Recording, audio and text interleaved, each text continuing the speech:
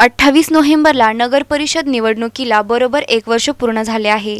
भाजपा युवा मोर्चाने या एका वर्षात दिग्रसकर नागरिकांचा नगरसेवकांच्या कार्याप्रती लेखी अभिप्राय नोंदवून घेण्याचे अफलातून आंदोलन केले. यावेळी स्थानिक शिवाजी चौकात लोकांनी एकच गर्दी केली आहे आपल्या मूलभूत सुविधा उपलब्ध करून घेण्यासाठी आज एका वर्षापूर्वी येथील नागरिकांनी आपल्या तेवीस वॉर्डात नगरसेवक निवडून दिले.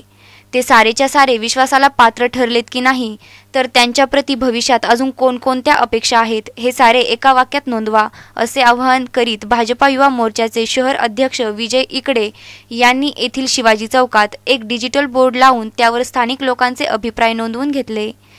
यात अनेकांनी सहभाग घेऊन आप आपल्या परिसरातील समस्या नोंदविण्यासाठी गर्दी केली आहे.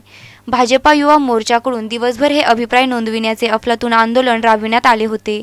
यात भ्रष्टाचार कमिशन खोरी व विविध मूलभूत सुविधा उपलब्ध करण्यासाठी आपल्या तक्रारी नोंदविल्या. तर चांगल्या सूचना देणाऱ्या सुजान नागरिकांनी मालकीचे नांदगव्हाण धरण पुनर्बांधणीचे काम नगर परिषदेने न करता ते काम अनुभवी व चांगल्या विभागामार्फत करून घेण्याच्या सूचना देत स्वच्छ शहर सुंदर शहर याकडे सर्व पक्षभेद मतभेद बाजूला ठेवून कामे करण्याच्या अपेक्षा नोंदविल्या आहे आजवरच्या भाजपा आंदोलनापैकी युवा मोर्चाचे हे आंदोलन अप्रतिम असल्याचे ही नागरिक म्हणालेत. प्रतिनिधी साजिद पतलेवालेसह सुवर्णा ताकटे एस पी चोवीस तास यवतमाळ.